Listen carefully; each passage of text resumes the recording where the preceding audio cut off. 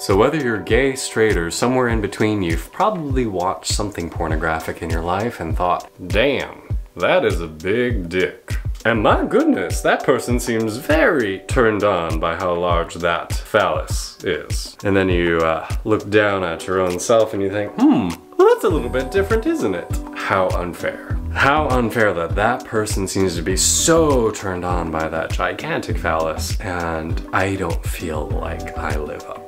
So maybe you've had that experience or an experience like it. Or maybe you just simply grab some produce and think, hmm, I feel like I'm a little bit more like this. And I'd rather be a little bit more like this. Well, maybe not that. That seems a little bit excessive.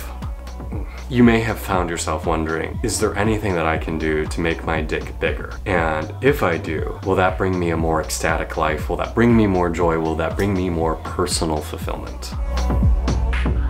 And if you haven't already, please go ahead and hit subscribe along with the bell next to it to get notifications about next videos that I post. Now, at this point you might be thinking, Kae, you run a YouTube channel on ecstatic spirituality and coming home to yourself and sex and sexuality. Does talking about making your dick bigger actually fall in line with that target message? To which I enthusiastically reply, yes, it absolutely does. Now, maybe this is different for other men, but for me, my penis brings me tremendous joy. I love playing with it, I love touching it, I love looking at it in a mirror, I love taking pictures of it and talking to other people about it. Uh, with, with their consent, right? I don't ever want to foist it upon somebody. But I love my cock and it brings me tremendous pleasure both physically, emotionally, and also spiritually. If you've watched my other YouTube videos, you know that I use sexual techniques and sexual pleasure as a way to create spiritual energy and move towards enlightenment and wholeness and healing and personal growth. And for me, there is something erotic and sexy and fulfilling and sensual and fun about the notion of how can I make this thing that brings me tremendous joy even bigger, even more full, even more arousing for me. Now, I do want to put a caveat and disclaimer right here. I am not a medical professional. I am not offering advice that you should be following. If you try any of these things or explore any things, this is on you. I am not to be held accountable in any way, shape, or form. I am also not endorsing any products or technique or specific people to follow. I'm just saying, over my years of curiosity about dick enlargement, this is stuff that I've researched far too many hours on and explored personally myself. So I guess we should probably start with the question that many of you are probably asking, which is, Kae, have you actually done this? Has it actually worked for you?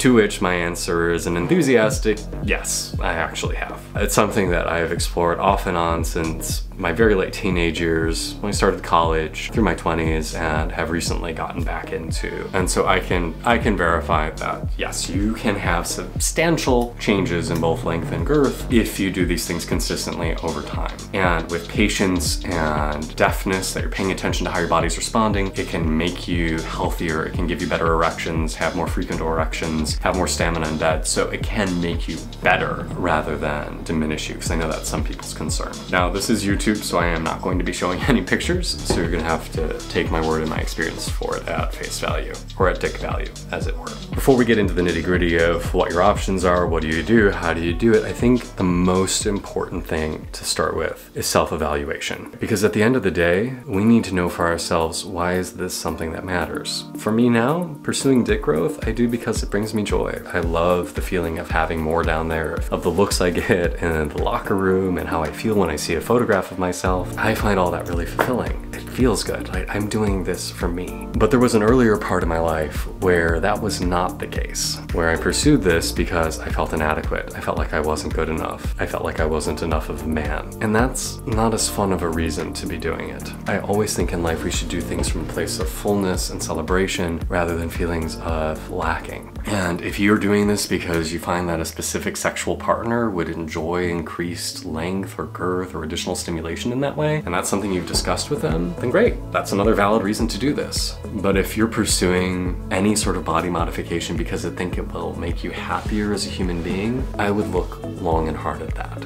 Because bodies continuously change, standards of beauty continuously change, and so long as you're chasing an outward goal and external approval, there's going to be a feeling of lack, and that happiness is going to be elusive. And not that there is anything inherently wrong with external approval. You may or may not know this about my personal sexual history based on my previous YouTube channels. You know, the first three people I asked out when I was in college. One laughed in my face, the next stood me up, the third said they didn't remember me asking them out. I was a virgin until I was 25 years old because I felt so awkward and unattractive and like nobody would ever want me as me. It's not a good position to be approaching self-modification from. The work I had to do first and foremost was come home to myself, find myself sacred and beautiful as I am. Because it doesn't matter how beautiful, how young, how fit, how hung, how rich you are, if you do not feel good in yourself, it will never be enough. I know people with hundreds of thousands of Instagram followers who still feel ugly and unattractive. And it doesn't matter what you're working with physically. We all have our shit. We all have our shit. That is not an excuse for saying I'm unlovable. And I get it, a lot of people look at me and say, Kae, you're attractive, you're tall, you're confident, why would you have ever felt insecure? Well,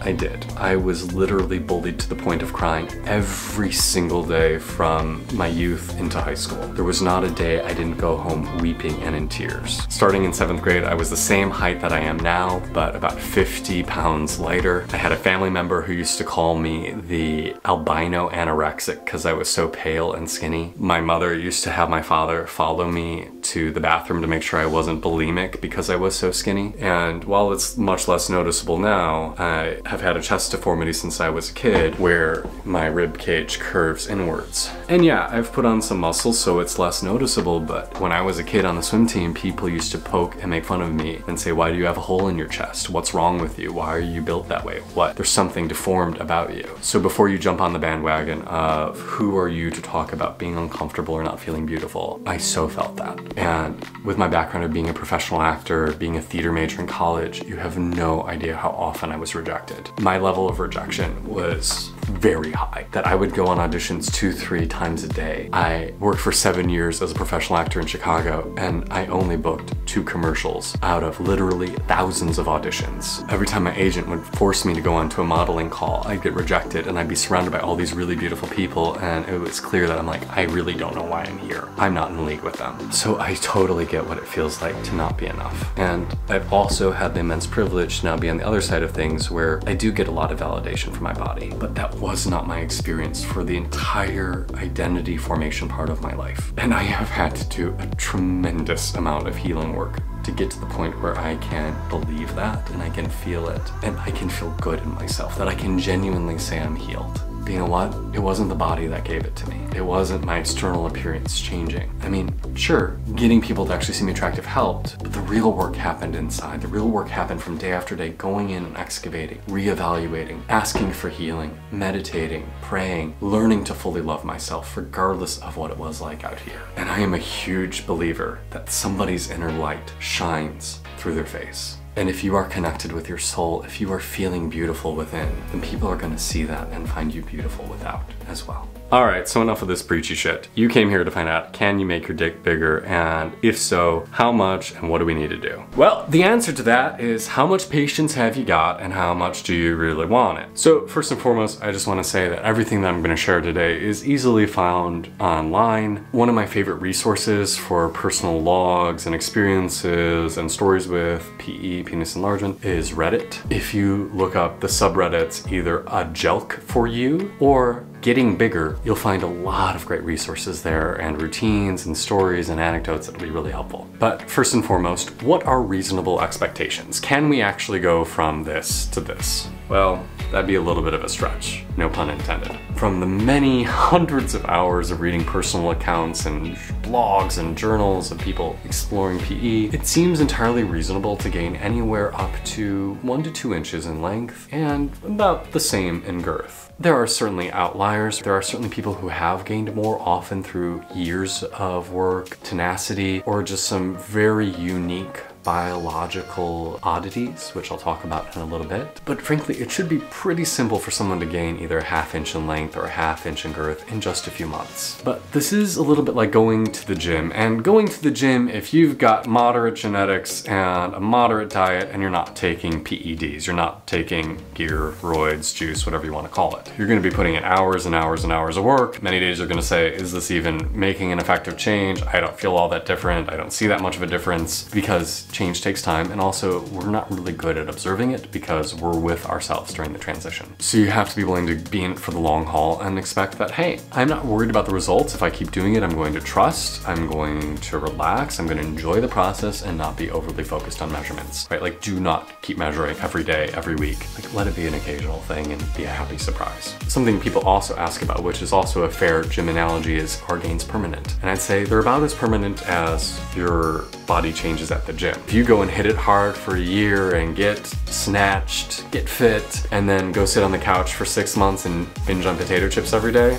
you're not gonna be maintaining those results. So I think it's important to approach it as a lifestyle, as something you enjoy doing and something that you have at least a basic maintenance routine, similar to like, hey, I got super fit, but I'm still gonna go to the gym several days a week and put in my time. I maybe don't have to push as hard, but I'm gonna keep it going. So let's start the conversation by talking about dick enlargement methods that I would not recommend for you. The first one being silicone. Now, the Kardashians may be injecting it into their booty, but you probably do not want to inject it into your dick or testicles. There are plenty of men that do. For the fun thing about silicone is you can pretty much blow it up to whatever size you want. Or at least the skin around your penis, any size you want. So no, your dick won't actually be getting larger, but people will inject liquid silicone underneath the skin of their penis, forcing the skin to grow thicker, longer. There's a guy online that you can find who has created uh, literally a four foot long, about this thick dick from liquid silicone and also pumping and as a combination. It is definitely more of a fetish thing. Now the biggest reason that I do not recommend this, apart from the fact that you're not ever going to be able to have normal sex, is that it is a huge health hazard because liquid silicone has these tiny little particles that can then start to migrate through your body and if they enter your bloodstream, they can travel to your lungs and then it will suffocate you in a matter of hours. And there are horrific stories you can read online and see in the news about guys who have blown up their junk with silicone and then ended up dying in the hospital not that long thereafter. So while it can be fun to see your junk blown up to elephantine proportions, I please, please, please be safe. As with everything in life, always consider the long-term implications and prioritize your health and well-being, first and foremost. Something of a similar ilk, but quite a lot less dangerous, is using facial fillers to do the same thing. So here in the United States, you can go to certain dermatologists and they'll inject hyaluronic acid under the skin and it makes it a little uh, thicker. It feels a little poofy, a little jello-like, but it will increase the girth of your member. And if you go down to other parts of the world, like Mexico, particularly Tijuana or Brazil, they can also do thicker facial fillers like Ellansé uh, that is lasts for about four years rather than just one year and feels a little bit more lifelike, or even permanent fillers like PMMA, Artefill. Similar but different to silicone,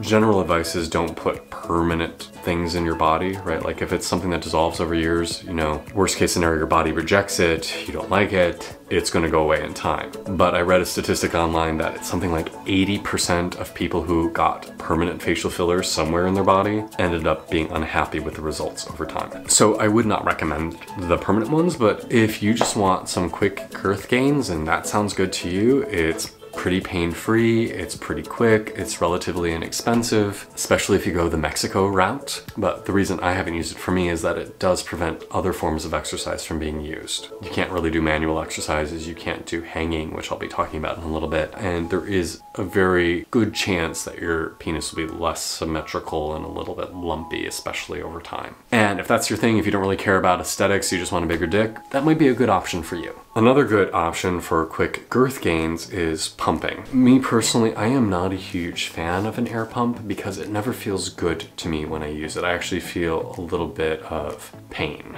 Now there's pain like a really like good stretch you feel at the gym and then there's pain where it feels like you're doing damage to your body. And when I've explored air pumping, I've felt more of the latter. Water pumping, by the other hand, has heat, it has a little bit more pressure because the water molecules are bigger, and I find less swelling. So if you've ever seen videos or explored yourself or someone else who does pumping, often the penis expands with lymph, with this fluid, and it becomes sponge-like and kind of feels like a little bit like a donut, looks like one too. If you pump to that point, you're probably not gonna get a ton of permanent gains. Like it's gonna get really big for a short period of time and then go back to normal. But if you do lighter pumping, where it's lower pressure, shorter intervals, where you just feel the actual tissue of the penis itself expanding, but you're not getting that crazy bloat, and you do that regularly, like once a day, once every other day, those gains can begin to become permanent. But when we overdo it, when we go too far, then we start developing more scar tissue, more adhesions, and that's when we start to run into bigger problems. You can find lots of stories on YouTube, specifically with the Bathmate of guys talking about their experience. It's not uncommon for someone to use it for a year and experience like an inch, inch and a half of girth gains and maybe even some length gains as two half inch, three quarters, maybe even a full inch. So something low stakes, easy to do, pretty damn low risk, feels good, kind of fun, do some light pumping. I recommend a water pump like the Bathmate or something like it. If you prefer the air pump because of convenience, I would definitely recommend doing a hot wrap with an electric heating pad. And two really good companies are Thick Wall Cylinders and LA Pumps. But you can certainly find cheaper stuff on Amazon. Just make sure that whatever you're using, you have an air gauge so you know actually how hard you're pumping and again, keep it on the lighter side if you want gains to be permanent and to be lower risk and to not just be a dramatic inflation for the time being. Now, of course, girth is wonderful from a sexual perspective. The kind of consensus I've read online and with sexual partners is that somewhere between like five and a half inches and just over six inches is considered really ideal for sex. And of course, this varies sexual partner to sexual partner. And it also varies based on if you're having heterosexual or homosexual sex. Vaginas and rectums can fit different sizes. In my own personal experience, women generally only want a dick that is so big. Once it gets bigger than that, it doesn't feel good, it doesn't look good. Gay men, in contrast, I tend to find are a little bit more of the opinion of the bigger the better. Gay men tend to fetishize masculinity, right? Like the bigger the muscles you have, the bigger the dick, the more masc presenting you are, the more attractive you're considered in gay culture. So that's something to keep in mind too is what do sexual partners actually want and what brings you joy? Is your goal to pleasure people effectively? Is your goal for yourself? These are important things to ask. As important as girth is for sexual pleasure, the thing that people always want to know is what's your number? And they're not asking girth, they're asking length. So how do we make our dick longer? If your goal is to just gain about a half inch or so, just start stretching it out yourself. Grab hold hard behind the head, pull to one side, hold for about five breaths, pull to the other side, hold for another five breaths, pull it down between your legs, hold for another five breaths, and repeat a few times. Do this for about five, ten minutes. Take a break, come back later in the day, do it again, do it about five, six times a day. Start to loosen up some of that connective tissue, and you should see some pretty noticeable length gains in a short amount of time. If you want larger gains, like you want more of an inch, two inches, three inches possibly even, then you need to do something a little bit more. Now you've probably seen penis extenders advertised online where you like strap it into a belt around your waist or attach it to rods. Those are good, but two things. First is you need to get one that can pull with a minimum of six pounds of force. And most extenders online only pull with two to three pounds of force, so you need to find one that has a lot higher tension. And the second thing is you have to be willing to wear it for long periods of time. And I'm talking hours a day. And they're not the most comfortable, and they're not the most most convenient to wear. Like you can't hide them under clothes anyway, really. There's one version you can, but doesn't have that much force. So I, I've had one, I've worn it. I just ultimately have not found that it gave me the results I wanted and it ultimately proved that practical. An alternative, and this sounds kind of terrifying and scary, but it works, is weight hanging. So basically you get a device that's like a clamp, and I recommend a clamp rather than a vacuum suction device because the vacuum suction can create blisters on the head of your penis. You attach this clamp to your shaft and then hang weight plates off the bottom. You have to again get above about six pounds of force, but really above 10 pounds, maybe even into the 20s. I recently came across my journal I was keeping when I was exploring weight hanging about six or seven years ago, and I got up to hanging about 25 pounds for several sets a day off my dick. Like that sounds terrifying and the image is horrifying, but it can work. It can really start to, one, stretch out the ligaments holding the penis in place, and two, eventually start stretching the tissue itself. For a lot of guys, if you get an erection and you feel down there, you can feel where the penis enters the perineum, the bottom of your pelvic floor, and feel how it just basically exits the body. That's how most guys are. But for some of us, we feel that it actually starts to travel up the pubic bone, one inch, two inch, three inch, even four inches, before it then exits. And if you find yourself in a similar situation, that means that a lot of that tissue can be stretched out and go from being internal penile structure to being external. And if that's the case for you, you may find that you're able to make a lot of length gains rather quickly because all you're doing is just releasing those tendons and ligaments, that fascia, and you're just moving what's already there more outside. If you don't have that or you've already stretched all that out, then the gains are gonna have to come by slowly elongating the tissue because of tension over time. Weight hanging is effective. It does take time, but it takes less time than an extender, usually about an hour a day, sometimes up to two hours, sometimes even less. People report gains from just doing it 20 minutes a day. But you are strapping a substantial amount of weight to your cock that can be really scary and intimidating, and you just of course want to be mindful and careful and make sure that you're not doing any lasting damage. Again, I'm not saying you should do this, and if you are going to do it, please, please, please do all your research, look up online uh, where you should go. I think Male Hanger is a really great website for resources and also device that's well made and also affordable because you can find hangers on there that are like $200, $300 and it's, it's a piece of plastic. Come on. So that's how I would approach length gains. If you want substantial girth gains more than pumping and a bathmate will give you, you will also need to start doing what's called clamping, which is basically blood flow reduction. So if you've ever seen a guy with a really huge cock, chances are very good he's experienced what is called a priapism, where he's had an erection that has not gone down for many, many hours. And that's dangerous, like, like your dick could actually die. You have to go to the hospital if that ever happens to you. Like you should never have an erection that lasts more than four hours, like the Viagra ads tell you. But that sustained boner forced the tissue to expand. And so clamping does the same thing, where you get an erection, full force, clamp down at the base. You could try it with your hands, but your hands are gonna fatigue, so you'll probably need a manual device like a cable clamp, something that keeps like your cords behind your computer or plugged into your wall in line. And you force uh, 110% erection for about five minutes, seven minutes, then you release it, you massage it, you go back to full erection, you do it again, you do it a third time, and that way you're forcing more blood into the chamber and over time it expands. That is considered a high risk activity. It is something that is can lead to more damage, so please be careful. I would also recommend that that be an advanced technique, one that you work up towards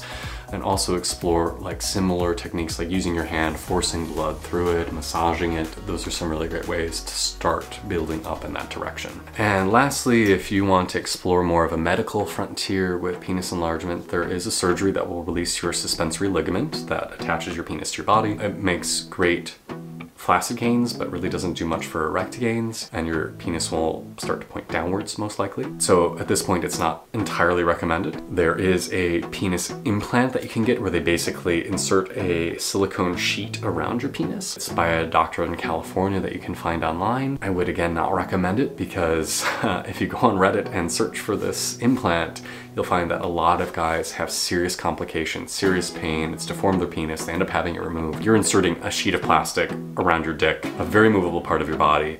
Like, I'd be very careful about that one, and it's very expensive too. With stem cell research advancing, there is a chance that we'll be seeing more and more coming out with stem cells for dick enlargement. I have read accounts of people going down to clinics in South America or Central America where things are lax and having that done. But before you inject stem cells anywhere in your body, you really should look at the dangers and how it can really fuck you up. We will get to a point where it is better, it is safer, but there are a lot of inherent risks, so hold off on that one for right now. The last thing you might find online is chemical penis enlargement, where basically you take a vasodilator, something where you inject it into your penis directly. It forces an erection for three to five hours. Erection goes down, but again, you've been at full erection for that full time and it's forced the penis to grow. The drug that works really well for that is called Caverject, but it's no longer sold in the United States, so uh, it'd be much more difficult to find. There's a fairly well-known male escort from Montreal that you can find online who has grown his penis two inches longer and two inches thicker by doing these injections five days a week over the course of two years. But A, the erections are incredibly painful, and B, it becomes tremendously expensive because you need bigger and bigger doses as your body adjusts. And suddenly what kept you hard for five hours initially, a few months go by and it's only working for five minutes. Something that